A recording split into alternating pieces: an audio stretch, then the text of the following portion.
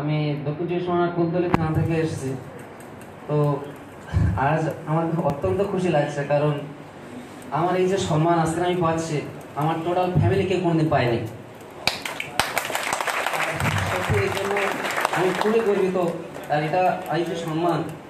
এই যে র্যাঙ্ক আমার একদিনে আসেনি স্যার এখান থেকে তিন মাস আগে তেইশে মার্চ যখন আমি এই দীঘা ওয়ার্কশপে এসেছিলাম, তখন আমি অ্যাসোসিয়েট র্যাঙ্ক নিয়ে এসেছিলাম। কিন্তু আজ তিনই সেপ্টেম্বর, অর্থাৎ একশো ষাট দিন, একশো ষাট দিন আমি ডিরেক্টর র্যাঙ্কে এসেছি, স্যার।